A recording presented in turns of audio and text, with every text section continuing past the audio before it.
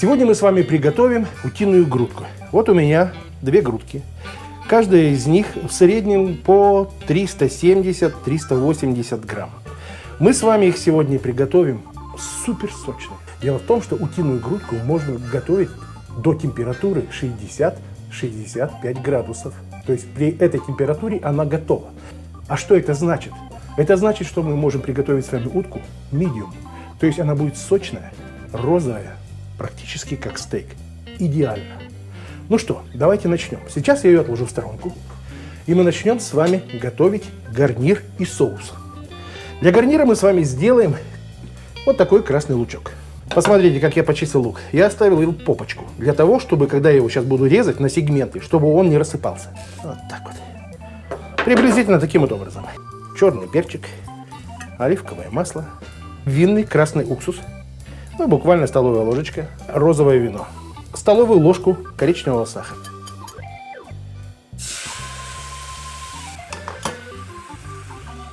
Закрываем крышечку, снижаем температуру и тушим наш лучок, чтобы он стал мягким. Как только он станет мягким, мы увеличим температуру и его подгрилуем. Ну, посмотрите, какая красота. Лучок наш подкарамелизовался, стал мягкий. Но мы его не будем доводить с вами до супер готовности. Овощи ни в коем случае нельзя переваривать, пережаривать. Они должны быть альданты, то есть они должны быть хрустящие, так, чтобы все соки и витамины сохранились. Я выключаю. Достаточно. Давайте приготовим наш соус. Соус будет очень оригинальный и интересный. Смотрите.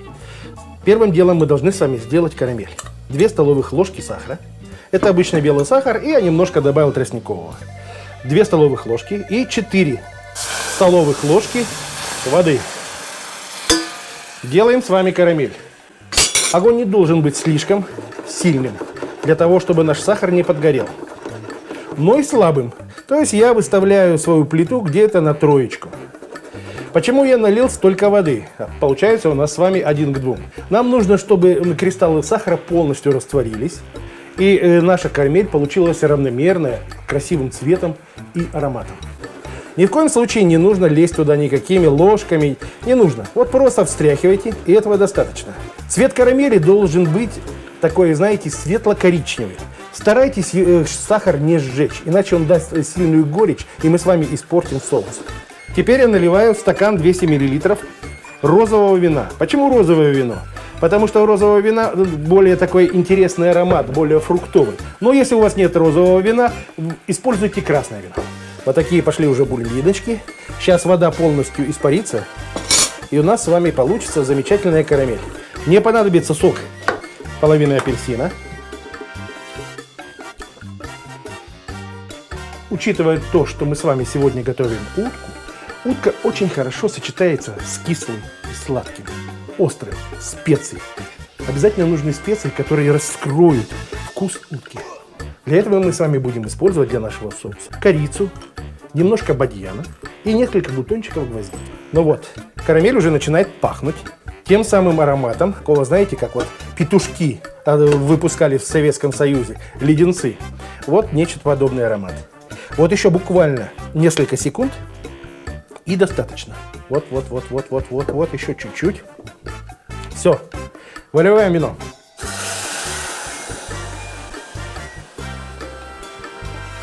Сок половины апельсина. Буквально половинку возьмите корицы. Два сегмента бадьяна и достаточно вот четырех бутончиков гвоздики. Снижаем температуру и увариваем наш с вами будущий соус. Пока сейчас не солим, потому что когда мы с вами соус уварим до нужной, скажем так, кондиции, вот тогда мы его досолим, доперчим и все положим. Потому что если вы сейчас положите соль и соус уварится, то соус может быть пересоленый. Узнаете, что это такое? А? Это наш жжу. Надеюсь, что вы посмотрели это видео. Замечательный, скажем так, ингредиент для создания соуса. Мы его бросаем сюда. Здесь в среднем у нас 50 грамм. Нам также понадобится свежий виноград. Наша задача сейчас этот соус уварить в половину. Я добавляю сюда буквально небольшую веточку тимьяна и один лавровый лист. Посмотрите, как наш соус кипит. Вот такие вот бульбинки, это говорит о том, что он достаточно густой. Специи нам больше не нужны. Возьмите ложечку вот такую маленькую шумовочку, и все вытаскиваете. Если что-то и останется, это не страшно. Давайте положим наш виноград. Ну вот, великолепно. Посмотрите, как он тянется лениво. То есть это у нас с вами получился замечательный базовый соус. Теперь цедра половины апельсина. Доводить его будем уже практически в самый последний момент, перед тем, как будем сервировать нашу утку. Давайте подготовим наши грудки. Сейчас наша задача надрезать немножко вот кожицу. Морская соль. У меня здесь микс перцев. Зеленый, красный, черный. Шикарные грудки, большие. Получатся невероятно сочными. Следующий момент. Грудки мы с вами должны положить на сковородку теплую. Так, чтобы э, они не запечатались. Потому что если вы сразу положите на горячую сковороду э, с кожей вниз, то они сразу запечатаются и кожица будет достаточно жестковатая.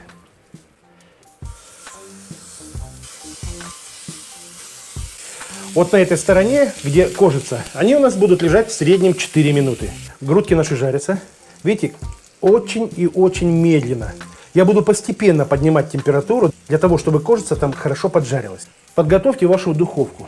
200 градусов. Разогреваете при вентиляторе. Если у вас нет вентилятора, то разогревайте его до 230-250 градусов. Подготовьте лист. Закройте его пергаментной бумагой и сразу ставьте его в духовку. Лист должен быть горячий. Ни в коем случае не нужно ложить э, э, подготовленную обжаренную грудку на холодный лист. То есть мы все испортим, она не будет такая сочная. И э, если вы не смотрели наше видео, как мы готовим куриную грудку, обязательно посмотрите. Там уже, в принципе, я достаточно подробно объясняю, каким образом мы это все делаем. Как грудки будут готовы, мы сразу их ставим в горячую духовку.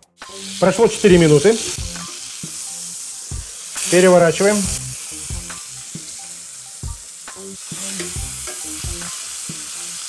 Ставьте еще 2 минуты. Вот теперь нам нужно его запечатать. Мы будем с вами еще раз переворачивать, учитывая, что наши грудки очень большие, я еще раз буду их переворачивать на кожу. В итоге мы будем их обжаривать где-то минут 8, гриловать на сковородке. И после этого мы отправим их в духовку. Две минуты прошло. Переворачиваем опять на кожу. Заводите смело еще две минуты. Я добавляю немножко чеснока. Вы уже видели, как я готовлю куриную грудку. Это французский стиль. Он дает очень э, замечательный аромат нашему мясу. Буквально 2-3 веточки розмарина. Розмарин прекрасно сочетается с уткой, с говядиной, бараниной. Маленькую веточку тимьяна.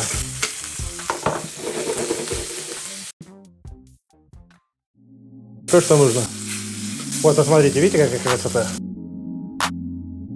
Вот там и нужно было добиться этого цвета. Если грудка не лежит на сковородке, прям берите щипцы и вот таким вот образом ее запечатывайте. Две минуты прошло. Переворачиваем опять. Еще две минуты. Столовая ложка сливочного масла.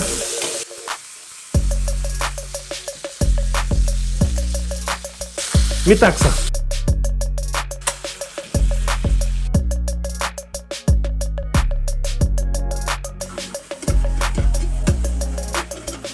Этот принцип называется фламбирование.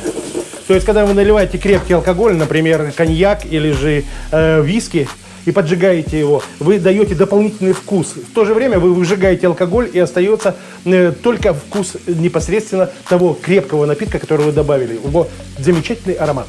Все, наши грудки подготовлены. Вот я сливаю всю вот эту красоту. Вот. Какая вкусняшка. Вот сейчас они, видите, сырые. Когда мы с вами будем работать над стейками, я буду вам рассказывать, каким образом э, жарить различные стейки, о их, скажем так, толщине, как нужно их гриловать, каким образом, ну вообще готовить стейки и соусы к ним. Я вас научу, каким образом определять вот эту кондицию. Когда у нас с вами есть стейк blue, есть у нас rare, medium rare, medium, medium well, well done, ну и тому подобное. при какой температуре и как это должно выглядеть. Если бы это был бы стейк, это rare. Нам сейчас достаточно буквально 6 минут для того, чтобы его довести до температуры 60 градусов, 65. Если вы не любите кровавое, то доводите до 65. Не надо доводить его до 70. То есть куриная грудка при 70 градусах уже готова и очень сочная. Но у нас с вами мясо, которое допустимо кушать так, чтобы оно было розовенькое. Поэтому не нужно его портить. Приготовьте его вот medium, medium well. И этого будет идеально. Вот смотрите-ка, на сковородочке мы сейчас с вами жарили наши грудки. Добавляем сюда немножечко вина. И вот это вот все мы должны с вами, скажем так, поварить, для того, чтобы э, этот сок растворился. И вот это вот все, что у нас с вами здесь есть, мы с вами добавим в наш соус.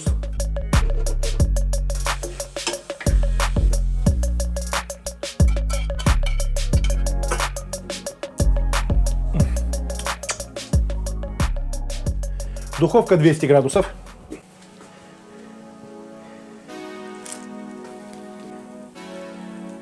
Ставим утку не посередине, чуть-чуть выше, для того, чтобы гриль хорошо подрумянил нашу грудку.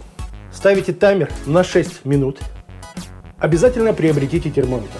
Без термометра будет катастрофа на кухне. Потому что каким образом вы получите опыт? Только благодаря ему. Вот вы достали кусочек э, мяса, стейк или же вот такую грудку. Как вы определите температуру? Если вы не знаете, как она должна выглядеть, какая кондиция, вот, допустим, вы надавили пальцем, да?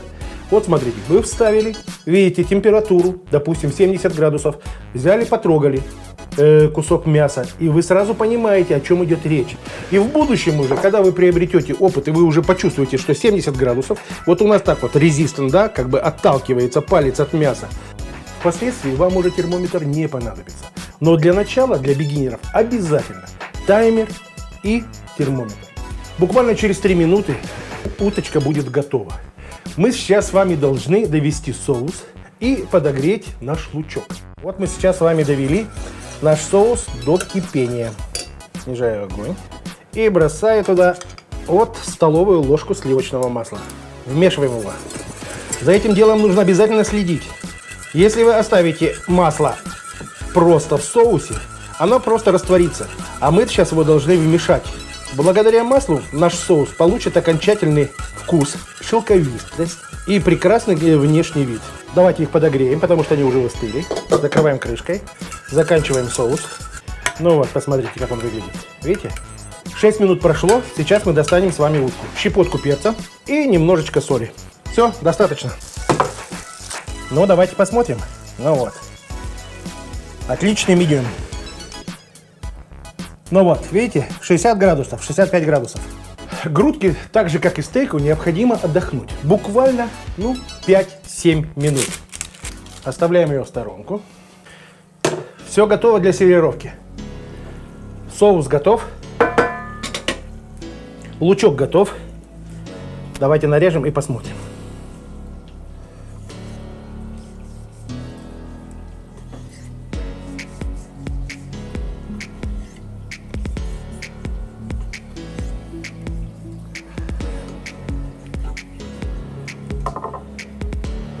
Ну вот, видите, то, о чем я вам говорил. Замечательная прожарка. Medium well. Сочная, нежная. Ну, посмотрите-ка. невероятно. Будем с вами сервировать?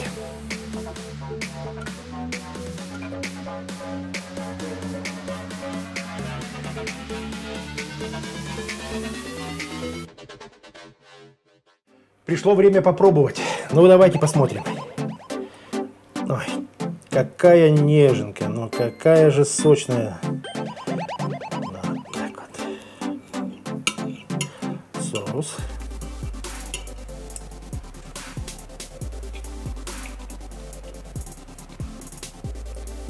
Просто невероятно.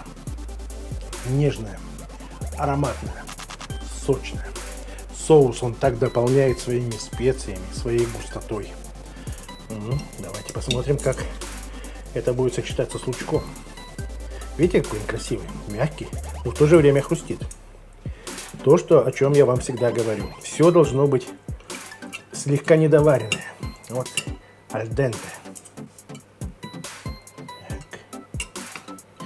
И виноградинку. М -м -м. Просто нереально. Абсолютно не хуже самого дорогого стейка. Утка стоит недорого. Пожалуйста, приготовьте себе вот такое блюдо. И все будут абсолютно счастливы. Тем более, что говядина, как мы знаем, в общем-то не очень хороша для нашего здоровья. А вот уточка в самый раз. И вкусно, и красиво, и необычно. Надеюсь, что сегодняшнее видео было вам тоже интересно, полезно, вы чему-то научились. Если у вас есть какие-либо комментарии, пожелания, пожалуйста, пишите. Ну что, друзья, увидимся в следующий раз. Пока!